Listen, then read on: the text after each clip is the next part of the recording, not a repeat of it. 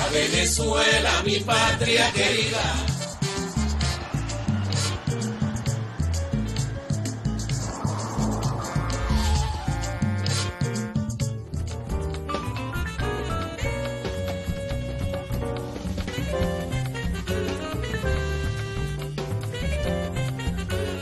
Yaracuy es un estado venezolano que guarda en su seno una diversidad cultural fascinante.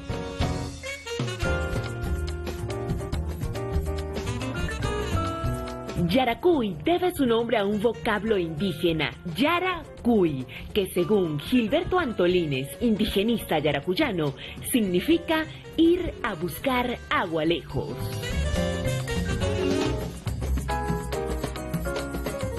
Hermosa tierra fue habitada por diversos pueblos originarios, entre ellos los caquetíos y los girajaras, cuyas costumbres y creencias se entrelazaron con las tradiciones europeas y la fuerte presencia de las culturas africanas dando origen a un rico mestizaje cultural. Durante la dominación española, Yaracuy fue testigo de importantes acontecimientos históricos, resaltando la insurrección de los esclavos liderados por Miguel de Muría, conocido como el rey Miguel I, y su esposa Guiomar.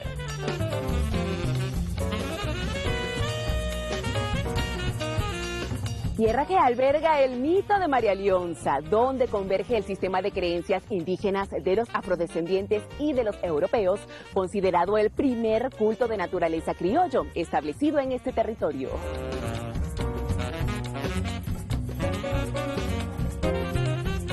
La variedad musical de Yaracuy abarca los golpes de tambor, las parrandas y hermosas danzas compuestas por autores como Teófilo Domínguez, Miguel Antonio Guerra, natural de Guamam y fundador de la legendaria Orquesta Mavare, además de Rafael Andrade y su emblemático Morir es Nacer. De Yaritagua es uno de los más sensibles autores de hermosísimas piezas musicales que forman parte del catálogo imprescindible de obras venezolanas. Me refiero al maestro Otilio Galíndez.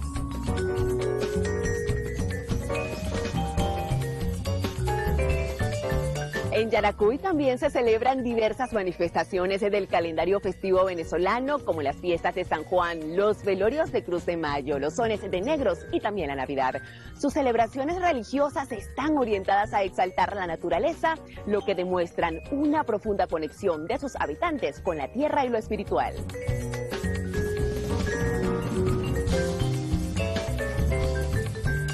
Este bello estado es también tierra de artesanos, destacándose los constructores de instrumentos musicales, de cuerdas y de percusión, los tejidos como los sombreros, alpargatas y muebles de mimbre, también pilones de madera, arte popular, piezas en arcilla y también en barro.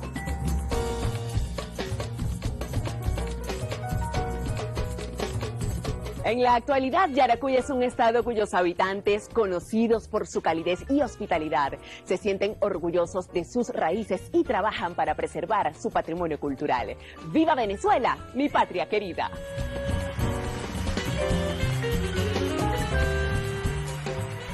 Flores amarillo, flores amarillo, flores amarillo, ese es el araguaney.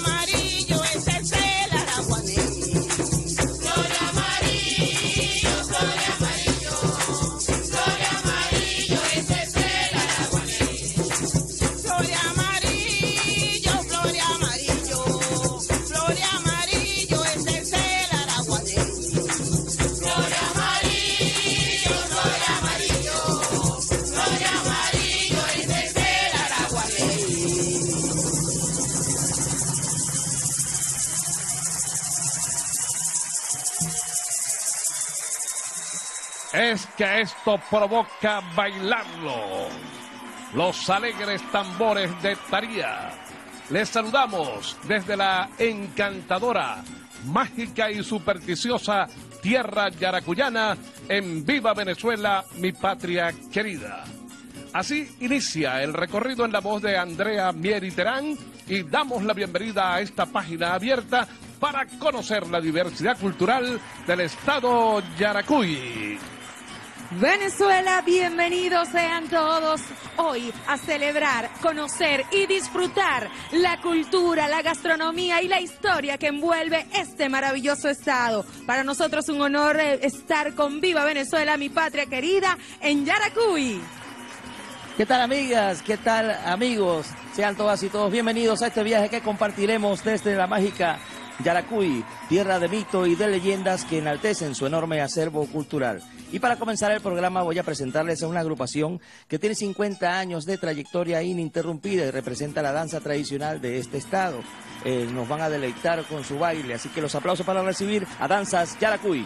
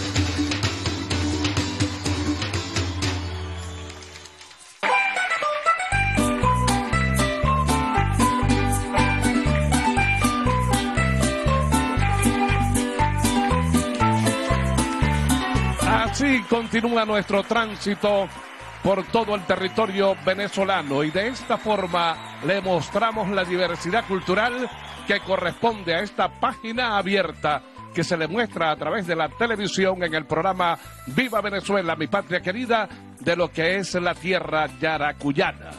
Y el sentir nirgüeño que para época decembrina anda en parrandas y aguinaldos, además de villancicos, toman las calles de la pintoresca población yaracuyana como lo es Nirgua. Vamos a apreciar ya en el escenario a Parranda Tradicional Unión de Nirgua, el tema que pertenece a María Escalona, la música de Carlos Alberto Betancur. Y aquí está, Parranda Tradicional Unión de Nirgua, Yaracuy y sus tradiciones. Disfruten.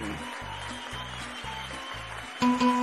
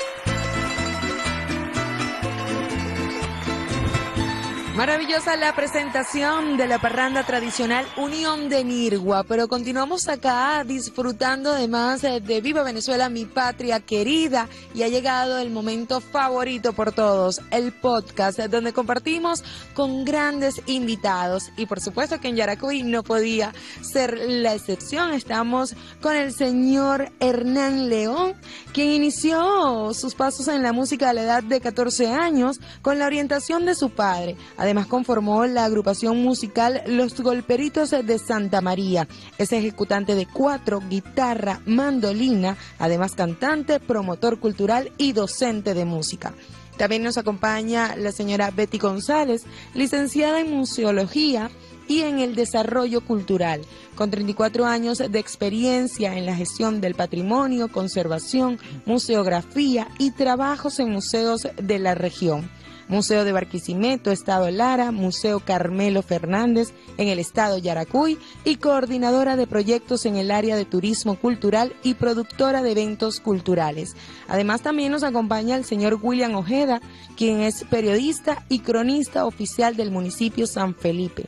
Patrimonio Viviente del Estado Yaracuy y miembro del Colegio Nacional de Periodistas. Muchísimas gracias por acompañarnos en esta oportunidad para conversar acerca de la historia, la cultura, la gastronomía y todas esas maravillas que tiene el Estado Yaracuy. Señor William Ojeda, hablemos de la historia de este Estado. Además, director del Centro de Historia del Estado. Bueno, entonces qué honor poder conversar con usted y Con que más razón, de más tema. Bueno, mira, en eso de en hablar de la historia, en dar un enfoque a la historia del Estado de Yaracuy, eh, nos llevaría mucho tiempo, ¿no? Dado pues los, los episodios que han confrontado esta región, desde que mm, vinieron pues los, entre comillas, los conquistadores o los invasores. Los indígenas, los guayones, caquetíos y Los arahuacos también. los arahuacos también, los caquetíos, los guayones. Ellos, mm, esa zona del alucinante Valle de las Damas o el Valle del Yaracuy, esta tierra, Dios, Dios nos bendijo pues en, en darnos esta zona verde por los cuatro costados, eh, llena de agua, de cosas bonitas, de misterios, mitos, leyendas, nos convoca siempre a, escudriñar lo que es la historia. Que ese es el nombre del estado de Yaracuy. El estado de Yaracuy, ah bueno, hablamos de los indígenas que fueron los que, sus propias voces fue lo que le colocaron su nombre. Cuando ellos señalaban de Yaraí, Ya- Yaraí, Ya- Ya- Yaraí, Yaraí, Yaraí. Yaraí, y mm, aguas, aguas y aguas lejanas. Y por ahí viene, pues, que, que se le da el nombre del- al Yaracuy. Sin embargo, de 1500, de 1530 a 1531, cuando eh, eh, se asomaba por aquí el explorador Federman. eh, Federman, Nicolás de Federman, el alemán, de unas tierras que eran supuestamente propiedad del rey Carlos V, que era con el objeto pues de, fundar con sus propiedades la explotación de- del oro y de los minerales preciosos y eh, todo lo que tiene la riqueza del, del para fundar lo que llamaban la Venezuela futura. Eso por supuesto que llevó a, indagar pues más hacia esa historia eh, desconocida, pero que sin embargo no pudo dar el carácter de, país en el futuro, ¿verdad?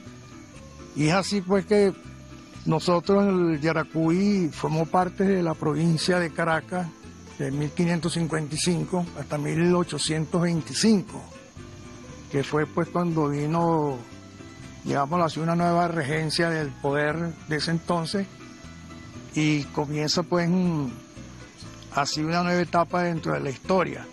Incluso pertenecimos también a la, a la, la Gran Colombia, la Gran Sí, Colombia, claro. ¿verdad? Y dentro de ese proceso de la Gran Colombia que nació uno de nuestros próceres, que fue ascendido por el libertador como fue el coronel José Joaquín Beroe, era, era, era afrodescendiente, Profe, yo lo voy a interrumpir, usted me Dígame, disculpa. ¿cómo no? Porque vamos, tenemos el tiempo aquí es corto en televisión Ah, y tenemos que presentar a una agrupación, pero vamos a seguir con ese tema en el próximo bloque mientras continuamos celebrando la herencia cultural del estado Yaracuy. Es un honor para nosotros presentarles a una hermandad sonora de talentosos músicos e investigadores de la producción de la percusión afrocaribeña. Con ustedes el Son Cumaco.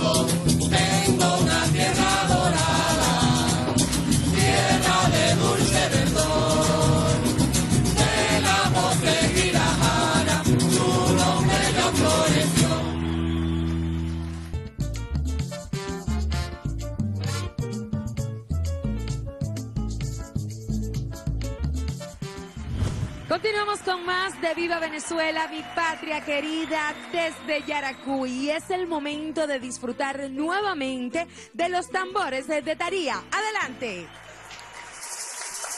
Si te vas, cielo mío, llévate tu macundé.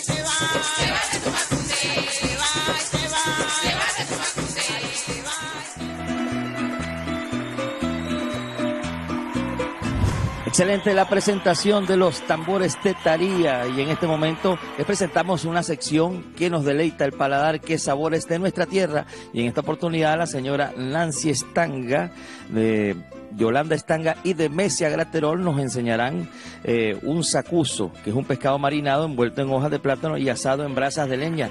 Adelante. Hola, mi nombre es Nancy Estanga, estoy acompañada de mi hermana Yolanda Estanga y de mi tía Demesia Graterol. Somos conocidas como las hermanas Estanga. Queremos darle las gracias al programa Viva Venezuela, mi patria querida, por la invitación. La historia del sacuso llegó a través de nuestra tía Sara Graterol.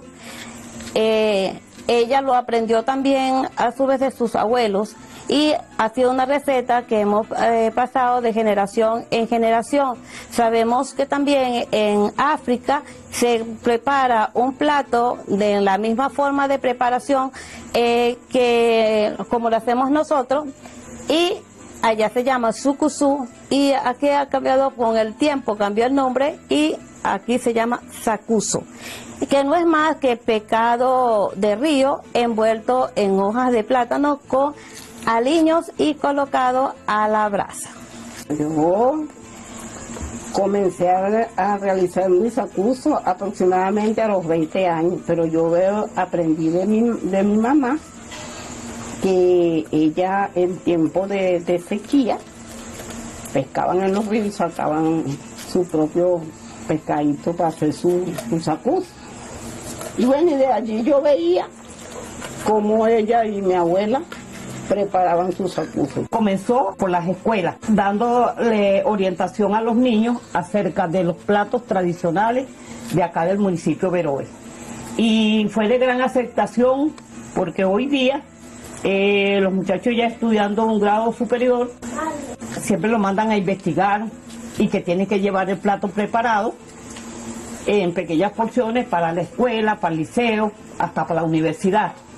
Y este, ¿cuál es la idea?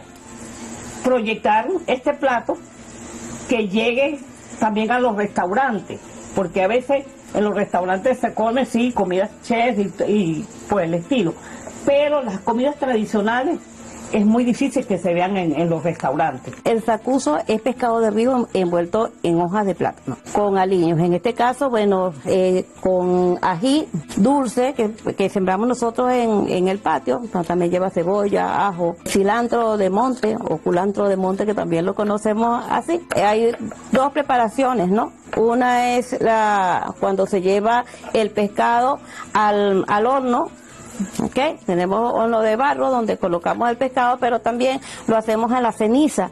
Cuando hacemos el fogón, se abre la ceniza, se coloca el pescado, se eh, eh, ya envuelto en hojas y con el calor él también se, se asa. Y la otra mm, forma de preparación es que se puede sancochar también.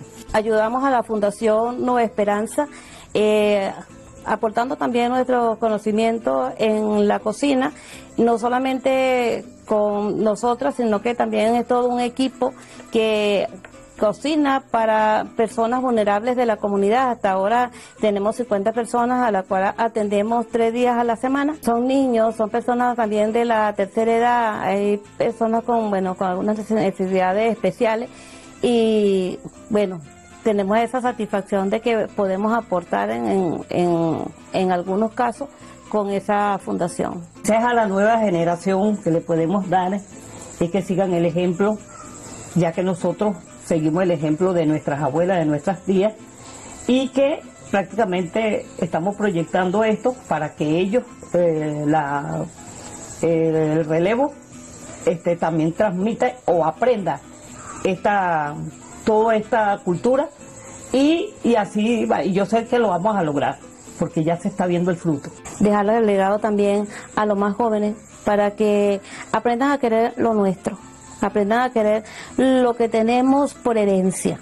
Y, y todo, bueno, entra por la boca y la, precisamente la comida es lo que nos, es lo que une a las familias. Lo apoyamos y queremos que todos aprendan todo lo que nosotros sabemos que no solamente en gastronomía tenemos el sacuso, tenemos muchos platos más que quisiéramos que los niños aprendan. Y ya lo hemos hecho en las escuelas, eh, con los talleres, el, el- programa ese CRP que se le ha dado también parte de gastronomía y bueno, y, que aprendan para que sean mañana salga una Yolanda, una Nancy, una Venecia y que, con ese legado que nosotros estamos dejando como nos lo dejaron a nosotros. La gastronomía yaracuyana, las hermanas Estanga, la señora Nemesia, nos invitan a probar el sacuso yaracuyano. Vamos a continuar en el escenario de Viva Venezuela, mi patria querida, y ya está la Filarmónica de Yaracuy, dirige el profesor Jesús Antón. Disfruten de la Filarmónica de Yaracuy.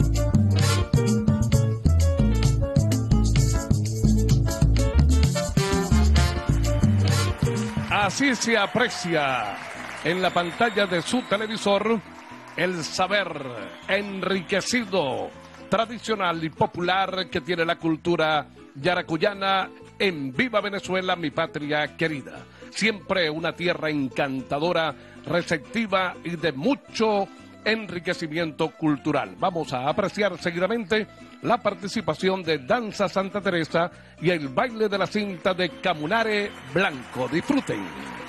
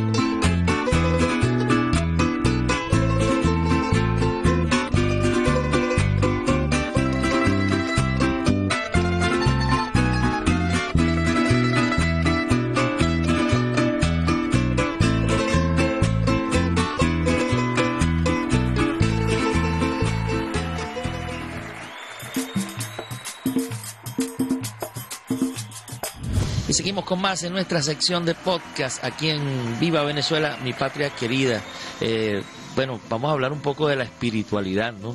De- del estado de Yaracuy. Sabemos que es un estado eh, rodeado de misticismo, de leyendas. de- eh, quisiera preguntarle, bueno, en este caso a, la licenciada Betty, eh, el mito de María Leonza. María Leonza existió, para los que no saben, para los que no conocen, ¿existió o no existió María Leonza?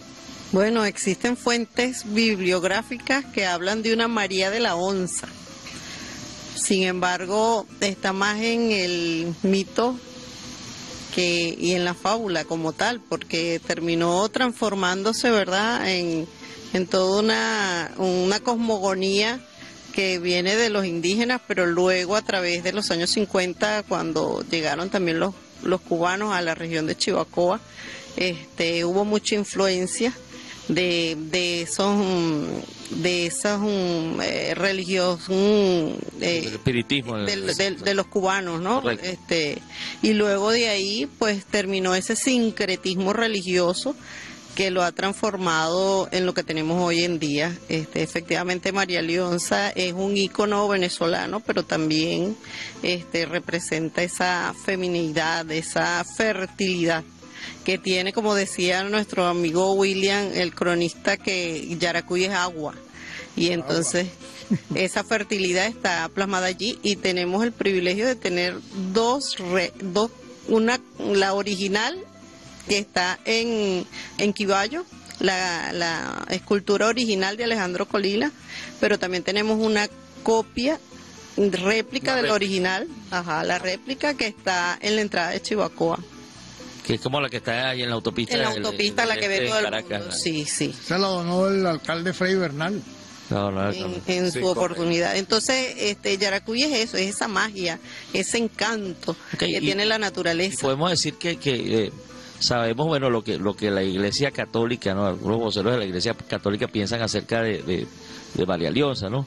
Este, pero eh, María Leonza no solo desde el punto de vista de, de los que hacen, bueno, los que hacen santería, eh, los que son espiritistas, este, Sí, es una religión más. Una deidad, el una deidad, pero también, pero también es, es, es- seguida por otros, por otros afectos a otra religión. además de religión, es estudiada por otras este, ramas, la antropología, la sociología, este, la medicina natural. Aquí al Estado siempre están llegando cuando es el baile en candela, viene mucha gente de Italia, de España, a estudiar el mito como tal y todo lo que significa ese ritual como tal, ¿no? O sea, ella trasciende lo cultural y va también a, a lo antropológico, ¿no? Y ahora que hablamos de significado, ¿qué significado tiene María Leonza para los yaracuyanos? O sea, ¿cuál es esa representación o ese sentimiento que tienen hacia ella? Bueno, déjame decirte que los yaracuyanos, yo no soy yaracuyana, yo soy guaracuyana. Es importante. Es como, como de entre Yaritagua y Barquisimeto, por ahí. Pues, una cosa Por ahí. Pero, pero si quisiéramos saber, porque hay mucha devoción también a nivel religioso hacia Sí, el, el yaracuyano se siente orgulloso del mito, más no es practicante. Los menos que van al santuario son yaracuyanos. Son los yaracuyanos. Y medido, y medido estadísticamente, quienes más vienen y visitan la montaña es Zulia, eh, Carabobo, eh, Distrito Capital, Colombia. pero eh, y de otros países, pero el yaracuyano no visita, se siente orgulloso, está representado, iconográficamente se siente representado por la deidad, pero Escucha un no, maracucho en eso, te va a decir, bebé, que no le gusta la santería. bebé. pero no es practicante. O sea, el ser practicante del ritual es ya convertirse en María Leoncero, en, es- en, en creer en la deidad como tal. Que inclusive, Belki, disculpa Betty, el yaracuyano eh, cuando sale fuera de- de- de su estado, entonces es reconocido por eso. Cuando uno dice, no, yo soy de Yaracuy. Eres brujo. Ah, tú eres brujo. Fuma tabaco. Sí. ¿Tú conoces Sote? Ajá, eso es lo primero que le preguntan a uno. Yo sé que una vez, en, algún momento, están haciendo una encuesta a la Universidad del Yaracuy eh, sobre María Leonza, pues, para hacer un informe y llevarlo posteriormente, pues, en- a, a- A la UNESCO. a- a la UNESCO, a declarar patrimonio inmaterial de la humanidad. Y van al centro de historia y me abordan y me preguntan, ¿de cuándo sabes tú de María Leonza? Pues me puso a pensar, ¿verdad? Porque conozco María Leonza de muchacho, pero no, no sé.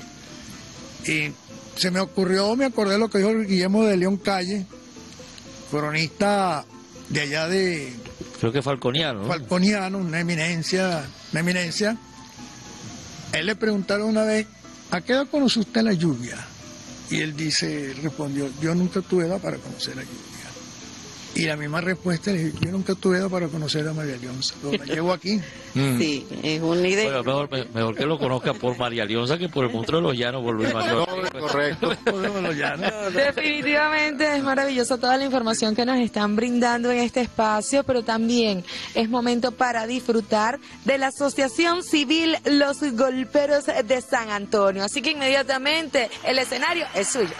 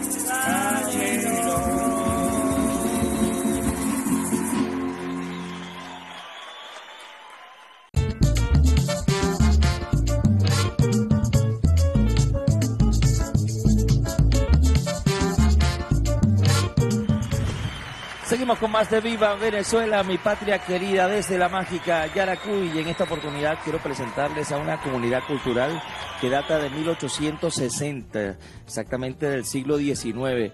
Ellos a través del tiempo y de la historia han mantenido expresiones tradicionales tales como el fandanguillo, como la polca y como el joropo jorconeado. Con el aplauso de ustedes recibimos a la comunidad cultural Campo Amor.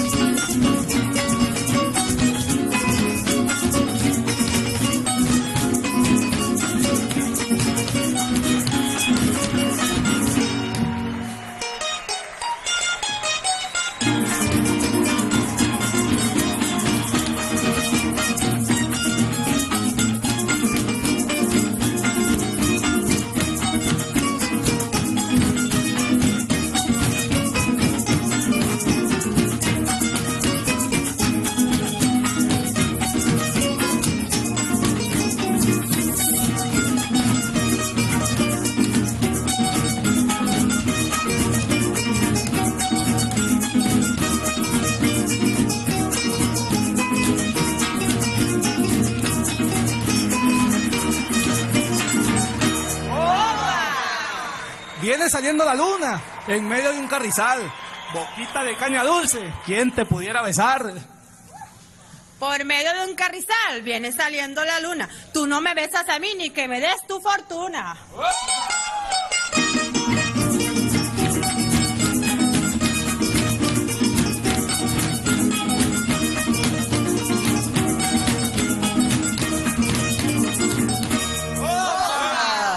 Allá arriba en aquel cerro tengo un palo colorado donde guindo mi sombrero cuando estoy enamorado.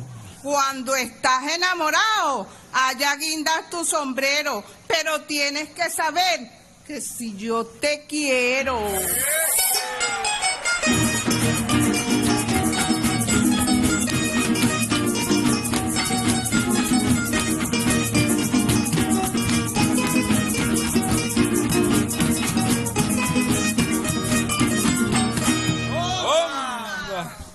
Morena de pelo largo y de bella cinturita. Yo me sentiría contento besándote esa boquita.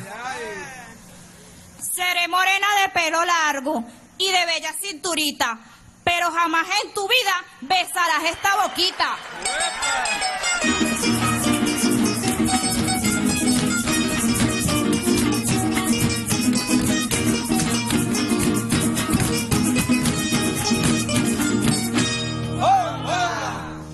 Me encuentro aquí con mi hermanita, esta que tengo a mi lado, bailando este fandanguillo y el joropo jorconeado.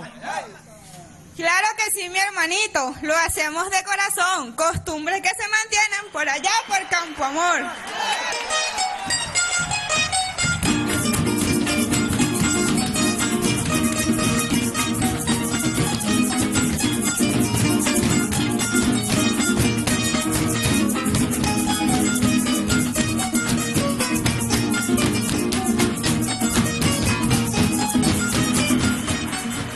Muchísimas gracias a la comunidad cultural Campo Amor por estar presente en Viva Venezuela, mi patria querida, entrega desde el estado Yaracuy. Y ha llegado el momento de presentarles un segmento muy importante para la música tradicional. Se trata de constructores de sonidos. Y hoy tenemos al señor Fraibar Villegas, quien nos mostrará el proceso de construcción de los tambores afro-yaracuyanos. Bienvenido.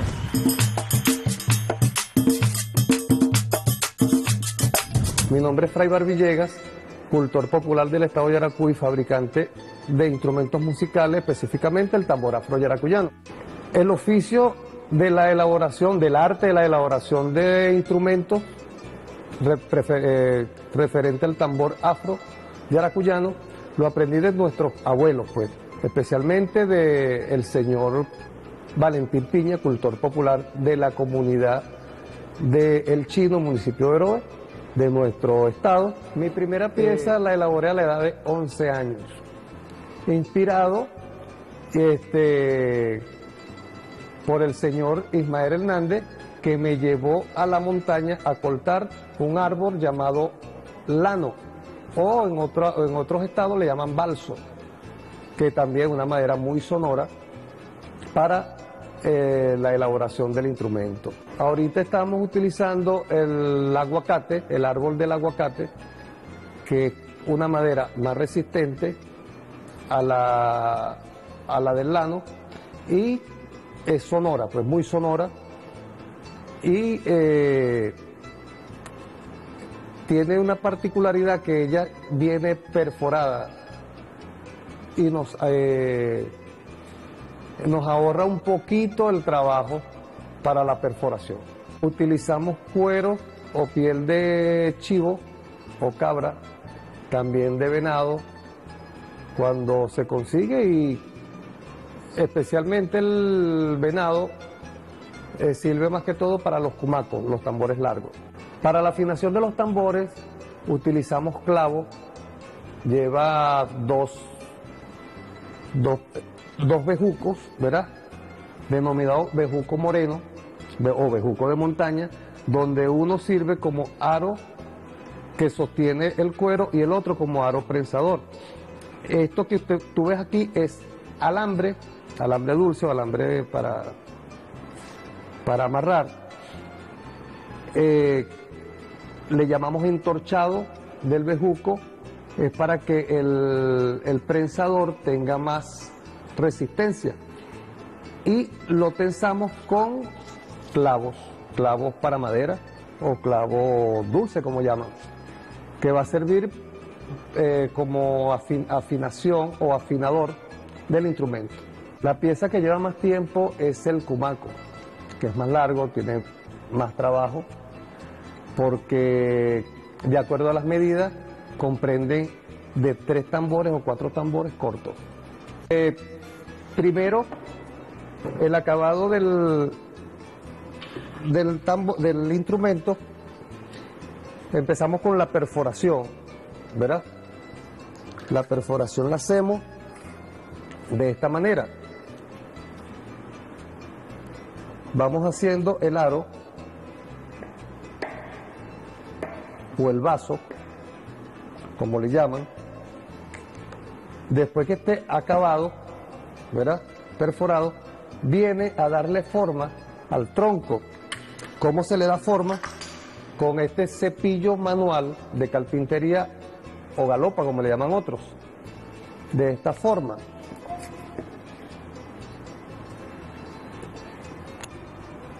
Lo cepillamos, ¿verdad? Después que está cepillado, que queda de esta manera, de esta manera, que se le da el espesor como tal. Este espesor es de una pulgada o dos centímetros. El espesor de la madera para que dé mejor sonoridad. Y el acabado tiene que ser eh, impecable para que, o sea, para que el sonido sea mejor. Luego viene la lija,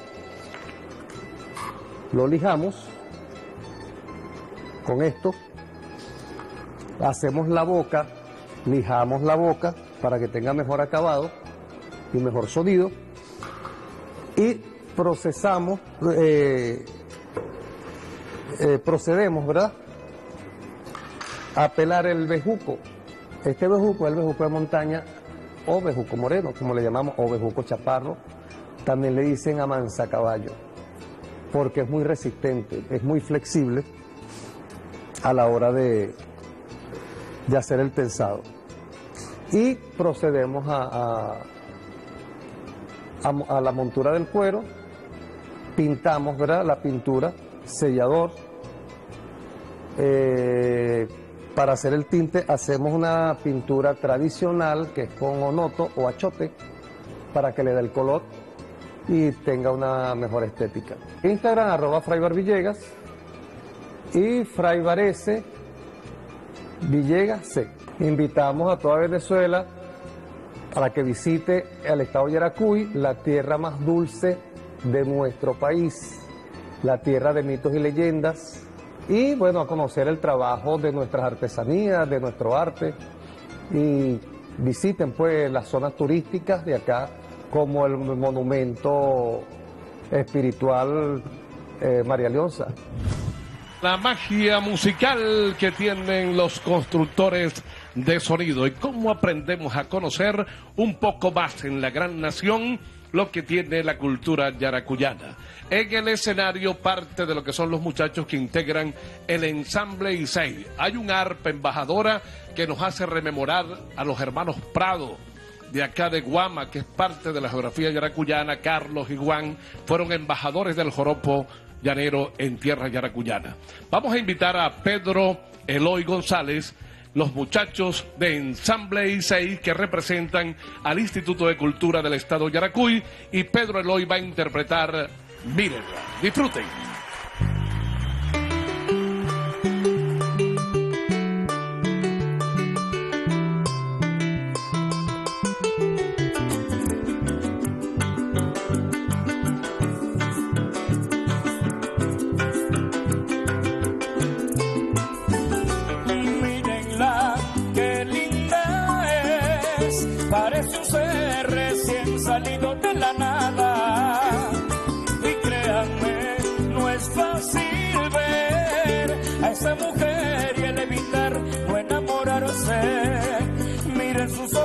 Su sonrisa angelical, inmensas ganas que de sus labios quiero probar. Haré mil cosas imposibles hasta lograr que en mí se fije. Si tengo suerte en conseguirle y si no vuelvo a insistirle hasta lograr que en mí se fíe. Y si te encuentro alguna vez frente a frente, recuerda no dudar en robado. El salto más rico del mundo, el robo más esperado y por verte yo ocuparía hasta mi tiempo completo. Y además un bonito momento, comprarte el mundo a cambio de un beso. Ser un adicto completo a ti, a ti.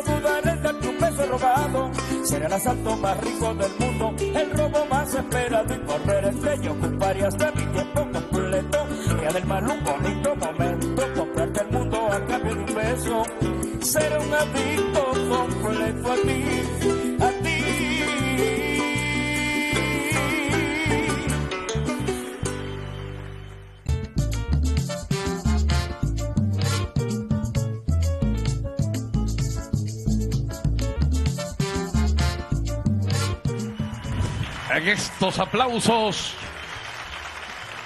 la receptividad de la encantadora tierra yaracuyana.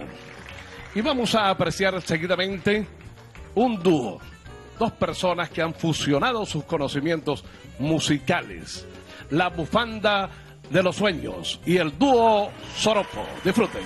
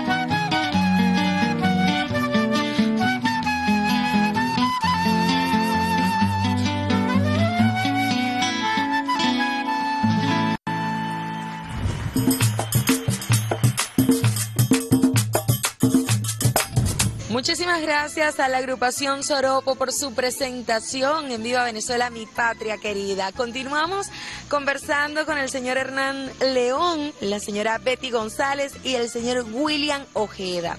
Yo quisiera en esta parte tocar un tema también interesante que es las influencias arquitectónicas que hay en el Estado y también un poco acerca de Alejandro Colina, que bueno, su obra, digamos, más representativa es María Leonza. Sí, pero también está la del indio Yaracuy, que igual, eh, que me corrija el cronista aquí, es una, un- es una escultura, Alejandro Colina tuvo una época en que trabajó mucho la influencia indigenista, por eso en varias regiones en Maracay, pero también en Caracas, que está Guaycaipuro, que está Chacao, que está... Era esa línea indigenista que él estaba desarrollando y bueno, con esa fuerza y por eso la... la- la- la- La, la época de Pérez Jiménez. Sí, la época de Pérez Jiménez, exacto. Y hubo mucha influencia arquitectónica también en la ciudad de esa época perejimenista.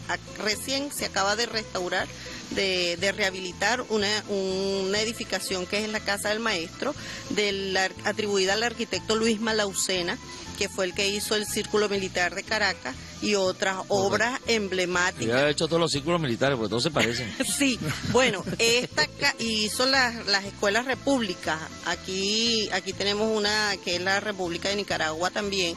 Entonces, esa época perejimenista está muy marcada en la ciudad también. Hay mucha, mucha eh, arquitectura de los 50. Profe, la República hablando- de Nicaragua es el 45. Ajá, Profe, exacto. hablando de esto de, de- Garita. de- de las esculturas, de las estructuras también, este, ¿por qué San Felipe el Fuerte? Ah, ¿Qué es San ¿por qué Felipe, el Fuerte? ¿Por qué San Felipe el Fuerte? Bueno, mira, em, Cuenta, cuenta. San Felipe el Fuerte era el, el antiguo poblado El Cerrito, próximo a Cocorote. Ya Cocorote tenía más de 100 años de fundado, ¿verdad? Ese cerrito eh, estaba ubicado pues a varias leguas de Cocorote y por influencia, eh, digamos, la mezquina de algunas autoridades reales asentadas en Barquisimeto, Claro, porque Barquisimeto, que en ese tiempo era Nueva Segovia, ¿no? Sí, pero era por la cuestión del el contrabando. centro, eh, El centro poblado más- comercio, el el comercio, y el, fuerte. y- y el contrabando, ¿verdad? Sí. Entonces fue atacado por, por alguna de estas autoridades, destruido en 1710, 1717 y fue incendiado en 1724. Parte de esa población de allí, más los que estaban aquí abajo, pues en, en esta zona, se trasladaron a otro lugar, que en la zona donde hoy se llama el Panteón, donde tuve el privilegio pues, de nacer, y que se llama Valle Hondo. Ahí se hizo un asentamiento poblacional, se desarrolló sin nombre. Ellos habían elevado categoría de ciudad al antiguo poblado del Cerrito, pues en 1729, el 6 de noviembre. Pues ese poblado no existía. Eran como títulos reales. o sea, Sí, pero no existía porque ya tenía cinco años que había desaparecido. Exacto. Eso no tenía sentido. Entonces este asentamiento poblacional que estaba acá abajo, eh, ellos aprovecharon y llegaron pues y, y se instalaron fue- y en el primer cabildo el primero de mayo de 1731. Y ese día en el primer acto soberano le pusieron a la fundación San Felipe el Fuerte. Claro, San Felipe el Fuerte, como que este sí es el San Felipe de verdad. Es que va a resistir. No, el fuerte. Y era el día del apóstol Felipe. Sí. De Ñape. Y además el rey Felipe V, que era el que le había pedido la Real. Real O sea que estamos en broma por don Felipe. Pues. Exacto. Entonces, No había escapatoria. entonces, el fuerte, para ver si no nos van a destruir, más que todo. Como fortaleza. Como una Fortaleza, fortaleza. sí. pues. Sin embargo, el terremoto del Jueves Santo de 1812, bueno, la destruyó. y- Destruyó la ciudad y quedó sepultada, porque y días le- después vino un deslave. Y uno le pregunta a la gente, ¿usted cree que San Felipe el O sea, murió dos- ese día? Fueron dos tragedias. Dos ¿no? tragedias seguidas. muy seguidas. Tres días después vino un deslave que los pocos que habían quedado vivos terminaron siendo hecho, el- sepultados. ese fue el, el famoso terremoto este De 1812. que acabó con todas las ciudades, con Caracas, Valencia, el Maracaibo. Tocuyo fue una de las Tocuyo más. que- sí. 26 de marzo, que se exactamente. perdieron. Y vino- 1702. y vino la tro- Jueves Santo. No recuerdo si fue que se perdió, Jueves como, Santo. se perdió Sí. como un cuarto de la población, más o menos. Sí, pero aquí, le dio duro. Aquí le dio duro porque la gente estaba en la iglesia. Estaba en la iglesia y en- Se en celebraba el Jueves Santo. El Jueves Santo. La Y- y un liturgia del Jueves Santo. y un jueves santo. Imagínate. Entonces Y eso tres- quedó ahí, sí, pues. y- Tres días después cayó el palo de agua. Se hizo como una represa El río arriba, Yuru- el río Yuru- el el río río Yurubí. Y vino el deslave y terminó de sepultar todo. Pero San Felipe necesita una real cédula para refundarse en el mismo sitio, porque estamos en el mismo sitio. Sí. O sea, Sí. San Felipe se fundó sola. Sí. Así que no pueden meterle No puede una real que fue- cédula que fue por un rey. Se fundó sola, se puso su propio nombre. Y en hubo el resistencia. terremoto, Ah. Volvió a nacer ahí Sí. y necesitó una real En resistencia Bueno, ya- permanente. Es que la real eso- tiene que perseguirnos siempre, un rey. Oye, Bueno, bueno yo, yo, no- yo- yo me llamo rey, pero no, no creas que yo soy de la realeza. Ahora yo no soy rey ni en mi casa. Precisamente en este momento Mira, vamos a seguir conversando, vamos a seguir conversando, este, y nos complace presentarles en este momento a una agrupación que proviene de madres, padres y abuelos parranderos. Nace con la intención de mantener vivas las tradiciones heredadas de sus ancestros y con más de 20 años de trayectoria hoy nos acompañan en el escenario los descendientes de Palmarejo. Señores, somos afrodescendientes. Ay, somos afrodescendientes del municipio Veroes. Mantenemos la cultura, también nuestras tradiciones. Mira, San Juan. Ay, le, le, tierra bendita de África, le, le, tierra bendita de amor.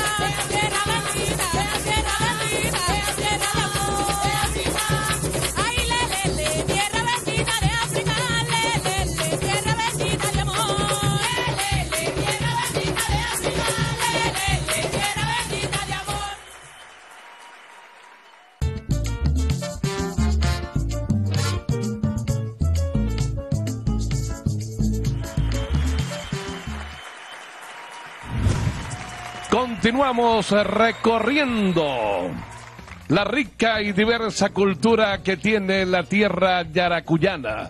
Son 7.100 kilómetros cuadrados de una variada y exquisita y rica cultura que tiene el estado Yaracuy. Vamos a conocer una parte que nos tiene Cocorote, como lo es Santa María. Con ustedes queda Golperos de Santa María.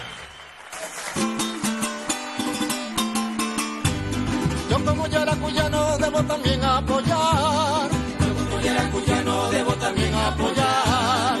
La música de mi pueblo con toda sinceridad. La música de mi pueblo con toda sinceridad. San Felipe, San Felipe, del Yaracuy capital. San Felipe, San Felipe, del Yaracuy capital. Un saludo a los turistas que vienen a disfrutar. Un saludo a los turistas que vienen a disfrutar. A todos los habitantes un favor voy a pedir. A todos los habitantes un favor voy a pedir. Mantengamos bella y limpia nuestra querida ciudad. Y así demostraremos que sabemos conservar. Y así demostraremos que sabemos conservar. Y señor de Santa María, municipio Mocorote. ¡Upa!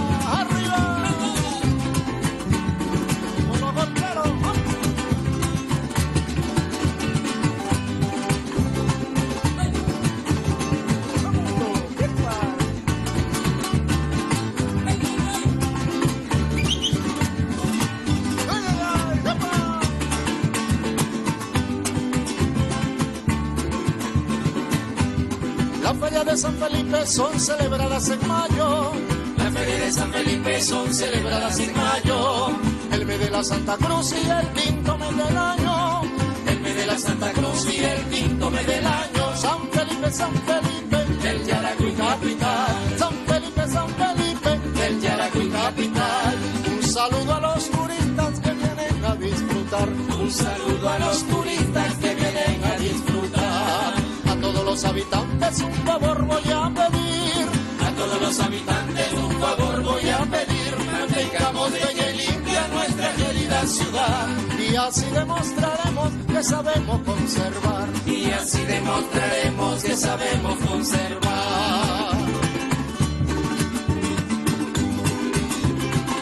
Y estos son los golperos de Santa María. ¡Ay, ay, ay!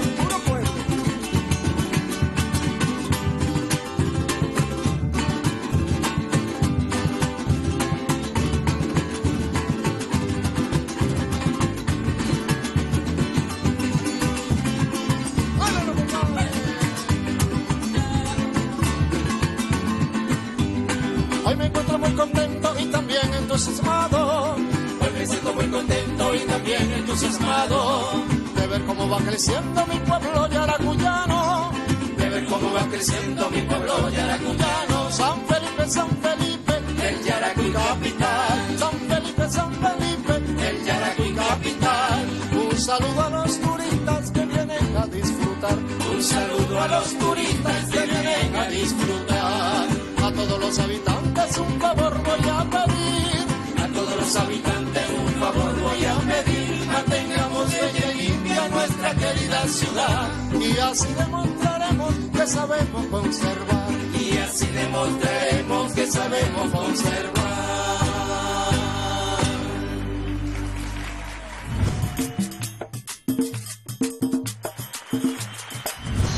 Excelente trabajo de los golperos de Santa María. Y Nosotros seguimos aquí en nuestra sección de podcast con esta conversación llena de cultura. Eh, profesor Hernán, este, bueno, músico desde que era desde que era zacaletón, por mismo de alguna manera, ¿no? Desde chavalo, como Desde por ahí. chavalo. Este, sabemos de la, de la, de la, por, por la cercanía geográfica, eh, la gran influencia musical podemos decir del estado Lara que hay aquí, porque aquí también hay golperos, este, eh, hay algún, alguna algún ritmo, alguna manifestación este, que podemos decir, este, esto es yaracuyano pero rajado, o sea, que- y que otros estados la copien. Bueno, mira, de verdad que la di- diversidad es bastante eh, espontánea y con esa relación, como tú dices, de- del Estado Lara. Sin embargo, aquí hay algo que nos identifica mucho y es sobre todo el aguinaldo. El aguinaldo que se le dedica al niño Jesús en, en la romería, en la romería del niño, eh, tiene una presencia o una identidad muy, muy arraigada aquí en el Estado. Eh, y eso de hablar, por ejemplo, de las romerías del Niño de los Cachitos de San Javier, que es uno de los más, más importantes, pero también el Niño de, de Cocorote, eh, actividad que comienza en el mes de noviembre, a partir ya desde el 3 de noviembre. que como, como, como una temporada gaitera. Exactamente. Y el aguinaldo que se le dedica eh, en algo exclusivo. Tiene, tiene su, su, su rito, tiene sus partes que no lo, no lo encontramos igual a otras, a otras regiones. Y eso pues enriquece bastante este, este género musical. Es como la cantaduría de velorios. Hay mucha relación con el estado Lara, sí, porque aquí se le canta la salve, el tono y la décima a la Santísima Cruz, a los santos, pero también se le canta a las ánimas, que es algo propio también muy, arraigado acá en el, en el Estado. Cantarle, hacer un velorio de la última noche, por ejemplo. Después de los siete días del novenario que murió el difunto, hay, hay familias que acostumbran cantarle en esa última noche. Como también hay la costumbre de hacerlo cuando cumple un año, lo que se llama el cabo de año. Cabo de año. Es la entrega ya final de, de esta alma. Y entonces eh, eso en los campos, sobre todo en mi zona donde yo, donde yo, yo donde provengo, Santa María, todavía se conserva mucho esta, En esta San Ramón manifestación. Santa María, disculpe, Santa María es un municipio niño, Municipio Cocorote. Es Cocorote. Algo que me ha sorprendido yo en mis diferentes eh, eh, visitas a, a San Felipe, específicamente San Felipe, a mí me ha sorprendido mucho que eh, hay la, la variedad de locales nocturnos y veo muchos cantantes y muchos músicos. Aquí hay muchos, muchos, mucha actividad nocturna Sí. en, cuanto a la música, ¿no? Entonces, claro, he visto rockeros, gente que hace pop, gente que hace diferentes géneros, este, pero, pero me sorprende porque este, yo puedo decir inclusive que lo he visto más que en, que en ciudades más grandes que están más cerca, pero aquí se ve, o sea, en cada local, eh, eh, en la noche tú ves eh, una banda tocando, ves... eh, No es el primero que lo hice. Inclusive Jax, todo este, este género Sí, sí, también sí. se... Me encantaría que en este espacio también nos pudiesen comentar acerca de un lugar emblemático que visitar, porque si bien es cierto, es muy conocido, ¿verdad?, por venir a visitar a María Leonza, pero también sé que hay muchos lugares, que es un estado rico en, en destinos para conocer, en cultura. Entonces, qué mejor que sean ustedes los voceros para invitar al turismo nacional e internacional también a través de este espacio. Vaya a la Guáquira. Ajá. Ajá, vaya a la mina de Aroa. Parque Nacional Yurubí. Una ciudad bonita, sencillita. Nirgua, Nirgua es bella. El Parque Histórico Arqueológico San Felipe, el Felipe, Fuerte, que es donde están los vestigios de esa De la ciudad, de la que hemos hablado. O vaya también al fuerte de San Vicente, de Buría, en Nirgua, En Nirgua. donde el negro Miguel en 1752 se alzó como rey. Así es. Mira, pero hay, hay otro espacio aquí que es único en el país, es el primero del país, que es un cementerio museo patrimonial. Es el primero, porque esperamos que muchos cementerios tradicionales que tienen una estatuaria y una historia de grandes personajes que han hecho la vida y obra eh, a través de sus acciones aquí en el Estado. Entonces, ese es otro espacio importantísimo para conocer el patrimonio funerario y la historia. Sí, señor. Eso, le, eso le ha dado un carácter de interés histórico y creo que uno de los pocos cementerios que están vivos. Muchos lugares para visitar, mucha historia que conocer y nosotros estamos encantados de haberlos tenido acá en Viva Venezuela, mi patria querida. Y es momento de despedirlos, por supuesto, esperamos volver pronto y seguir compartiendo con ustedes y conociendo más de este maravilloso estado. Pero nos vamos a despedir de este espacio con buena música porque ya se encuentran sobre nuestro escenario Danza Folclórica Génesis. Bienvenidos.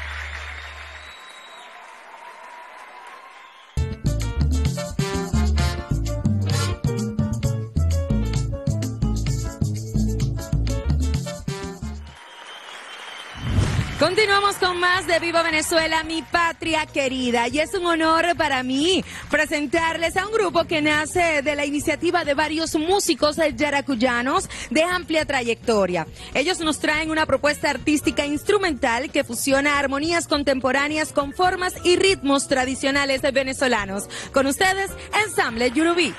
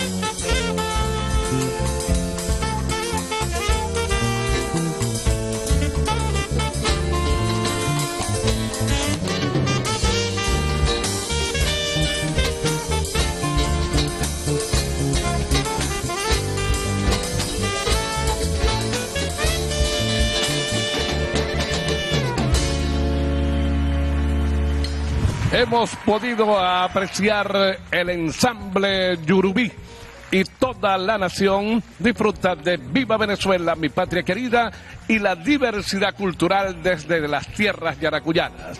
Vamos al segmento de artesanía y las manos prodigiosas de la señora Nancy Ruiz nos va a mostrar un trabajo de la tejeduría de Betty Ver. Adelante.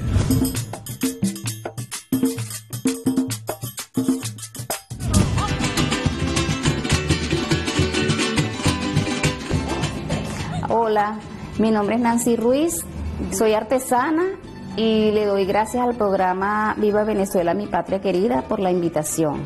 En mí nació la curiosidad del vetiver cuando vi a una señora cargar un, un paquete de fibra comúnmente que se le llama paja, pues le dicen paja, entonces empecé con la curiosidad. El vetiver no es originario de Venezuela, él es de la India, lo trajo una empresa por primera, por primera vez. Y bueno, y se comenzó con el tejido. Entonces empecé a indagar sobre el vetiver y cuando vi las piezas que se hacían con él, bueno, me empezó a gustar y gustar y como ya traía aquella inquietud de las manualidades, entonces empecé a, formarme, a buscar. Y bueno, y vinieron unos tejedores en una ocasión y nos enseñaron pues los pasos del vetiver y eso. Entonces nos informaron que para hacer las piezas pues teníamos que cultivar y entonces de allí nace también mi interés en cultivar la fibra. Y lo primero que hice fue una muñequita. No me quedó muy bonita, pero para mí fue la mejor porque primera vez que trabajaba con la fibra y bueno, y me encantó, de verdad que sí. Em, como yo sé que todo es innovación, todo es va fluyendo, cada día van naciendo cosas diferentes, empecé a estudiar, a indagar, a investigar. ¿Qué más se hace con eso? Bueno, empezamos a hacer animales, em, se hacen hasta piezas utilitarias, sombreros. Pienso que el vetiver es la fibra más versátil que conozco. Y es el arte más completo, porque en el vetiver tú puedes coser, puedes pintar, puedes tejer. Y hacemos variedades de tejidos como es este, este que tenemos acá, que es el cordoncillo, tenemos la cinta pico, que sería esta, esta cinta, ¿verdad? Tenemos la cinta plana, tenemos, cosemos en vetiver, por decirte, podemos hacer infinidades de cosas cosiendo el vetiver en forma de, de espiral, como te mostré allí, como tenemos esta cesta, bueno, y muchos tejidos, pues. Entonces, lo que me ha costado más o lo que me costó más, y eso por la cantidad de trabajo, fue tejer estructura.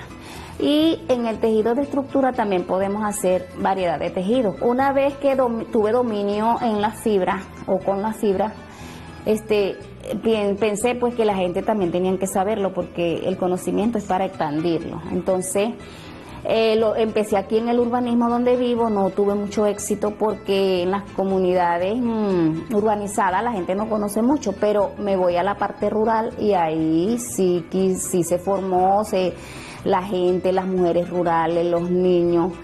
Se hizo un enlace, hice un enlace con la alcaldía, trabajé un tiempo en la alcaldía del municipio de Independencia porque el alcalde le llamó la atención el, tejido. Y bueno, y tuve la oportunidad de ir a varias comunidades rurales del estado, donde en la actualidad pues cada una teje ya su mueble de para su uso y también al vecino, al amigo, etcétera.